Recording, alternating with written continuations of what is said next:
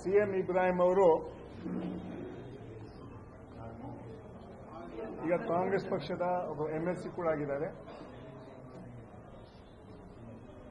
ಪಕ್ಷ ಬಂದ ನಂತರ ಅವರು ಪಕ್ಷಕ್ಕೆ ಸೇರಿದ ನಂತರ ಎರಡ್ ಸಾವಿರದ ಹದಿಮೂರರಲ್ಲಿ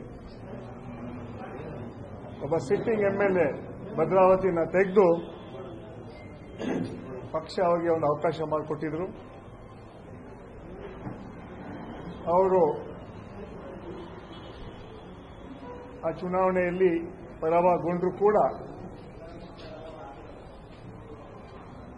ಪ್ಲಾನಿಂಗ್ ಕಮಿಷನ್ನ ಉಪಾಧ್ಯಕ್ಷನಾಗಿ ಅತ್ಯಂತ ಜವಾಬ್ದಾರಿ ಸ್ಥಾನವನ್ನು ಉಪಾಧ್ಯಕ್ಷ ಸ್ಥಾನವನ್ನು, ಕ್ಯಾಬಿನೆಟ್ ಸ್ಥಾನವನ್ನು ಕೊಟ್ಟಿದ್ರು. ನಂತರ ಎರಡು ಬಾರಿ ವಿಧಾನ ಪರಿಷತ್ತಿನ ಸದಸ್ಯರಾಗಿ ಪಕ್ಷ ಅವರಿಗೆ ಅವಕಾಶ ಮಾಡಿಕೊಟ್ಟಿದ್ರು.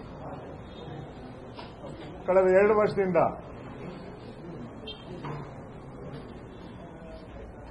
ಯಾವುದೇ ಚುನಾವಣೆ ಬಂದರೂ ಕೂಡ ಅವರು ಅದರಲ್ಲಿ ಭಾಗಿಯಾಗಿಲ್ಲ. ನಾನೇ ಎಐಸಿಸಿ ಜನರಲ್ ಸೆಕ್ರೆಟರಿ ಸುರ್ಜೇವಾಲ್ ಅವ್ರನ್ನ ಅವ್ರನ್ನ ಮನೆ ಕರ್ಕೊಂಡು ಹೋಗಿದ್ವಿ ಮಾತುಕತೆ ಆಯಿತು. ಅವರ ಬೇಡಿಕೆ ಏನಿತ್ತು ಅಂತ ಹೇಳಿದ್ರೆ, ಆ ಸಮಯದಲ್ಲಿ ಎಸ್ ಆರ್ ಪಾಟೀಲ್ ಅವರು ವಿರೋಧ ಪಕ್ಷದ ನಾಯಕರಾಗಿದ್ರು. ಅವ್ರನ್ನ ತೆಗೆದು ನನಗೆ ಮಾಡಬೇಕು ಅಂತ ಒತ್ತಾಯ ಕೂಡ ಅವ್ರು ಮಾಡಿದ್ರು. ಆದರೆ ಸುರ್ಜೇವಾಲ್ ಅವರು ಇದ್ರ ಬಗ್ಗೆ ನಾನು ವರಿಷ್ಠ ಚರ್ಚೆ ಮಾಡಿದ ಮಾತನ್ನು ಹೇಳಿದ್ರು. ಪಕ್ಷ ತೀರ್ಮಾನ ತಗೊಳ್ತಾ ಆ ಸಂದರ್ಭದಲ್ಲಿ ಎಸ್ ಆರ್ ಪಾಟೀಲ್ ವಿರೋಧ ಪಕ್ಷ ನಾಯಕರು ಇರುವಾಗ ಬದಲಾವಣೆ ಮಾಡಕ್ ಆಗೋದಿಲ್ಲ. ನೀವೆಲ್ಲ ಪ್ರಚಾರಕ್ಕೆ ಹೋಗಿ ಕೆಲಸ ಮಾಡಿ ಅಂತ ಮಾತನ್ನು ಕೂಡ ವರಿಷ್ಠರು ಹೇಳಿದ್ರು. ಆದರೂ ಕೂಡ ಸಿಎಂ ಇಬ್ರಾಹಿಂ ಯಾರು ಪ್ರಚಾರಕ್ಕೆ ಹೋಗಲಿಲ್ಲ. ನಾನು ಸ್ವತಃ ನೀವು ಹಾನ್ಗಳಿಗೆ ಬರಬೇಕು, ಸಿಂಗಿಗೆ ಹೋಗಬೇಕಂತ ನಾವು ಮನವಿ ಕೂಡ ಮಾಡಿದ್ರು ಕೂಡ ಅವರು ಪ್ರಚಾರಕ್ಕೆ ಹೋಗಲಿಲ್ಲ. ಈಗ ಅವರು ಆಕಾಂಕ್ಷಿ ಆಗಿದ್ರು ವಿಧಾನ ಪರಿಷತ್ತಿನ ವಿರೋಧ ಪಕ್ಷ ಸ್ಥಾನಕ್ಕೆ. ವರಿಷ್ಠರು ಪಕ್ಷದ ಅತ್ಯಂತ ಹಿರಿಯ ಮುಖಂಡರು. ನಾಲ್ಕು ಬಾರಿ ರಾಜ್ಯಸಭಾ ಸದಸ್ಯರು. ವಿಧಾನ ಇದು ರಾಜ್ಯಸಭೆಯ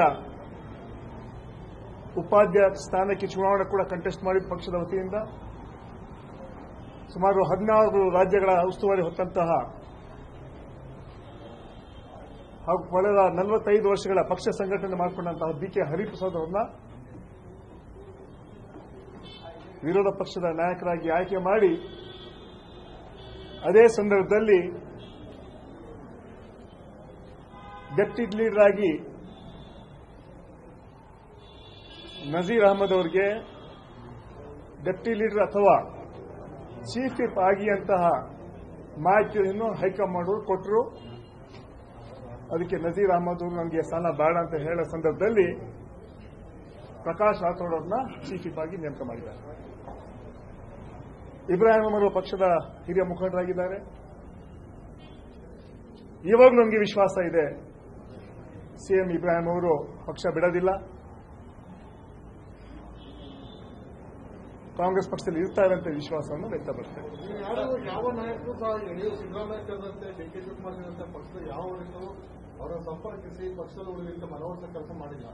ಈಗ ಮಾತನಾಡ್ತಿರೋ ನೋಡಿದ್ರೆ ಅವ್ರು ಹೋದ್ರೆ ಹೋಗ್ಲಿ ಅನ್ನೋ ರೀತಿ ಧಾಟಿ ನೋಡಿದೆ ಅಂತ ಮಾತು ಕೇಳ್ಬೇಕು ಒಳಗೊಳಗೆ ಆ ರೀತಿ ಇದೆ ಅನ್ಸುತ್ತೆ ಅದು ನಿಮ್ಮ ವಿಶ್ಲೇಷಣೆ ನನ್ನದಲ್ಲ. ಈಗಾಗಲೇ ಈಗಾಗಲೇ ಪಕ್ಷದ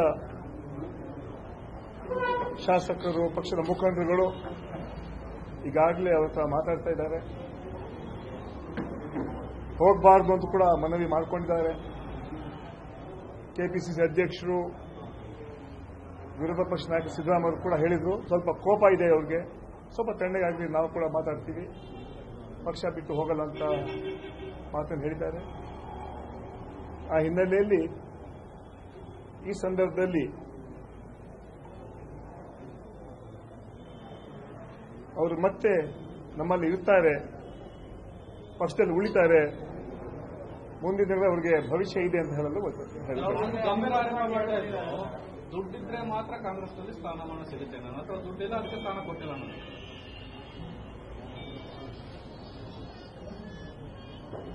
ಅವರು ಒಂದು ಹೇಳಿಕೆ ಕೊಟ್ಟರು ನನಗೆ ನಲ್ವತ್ತು ಕೋಟಿ ಸಾಲ ಇದೆ ಅಂತ ಮಾತನ್ನು ಹೇಳಿದ್ರು. ಅದು ಯಾವ ಅರ್ಥ ಹೇಳಿದ್ರು ನಮಗಂತೂ ಗೊತ್ತಾಗಿಲ್ಲ. ಯಾರು ಕೂಡ ಇದರಲ್ಲಿ ಹಣದ ಮಾತು ಯಾಕೆ ಬಂತು ನನಗೂ ಕೂಡ ಅರ್ಥ ಆಗ್ತಾ ಇಲ್ಲ. ಯಾಕೆ ಹೇಳಿಕೊಟ್ರು ಅಂತ? ಅದಕ್ಕೆ ಅವರೇ ಉತ್ತರ ಕೊಡಬೇಕು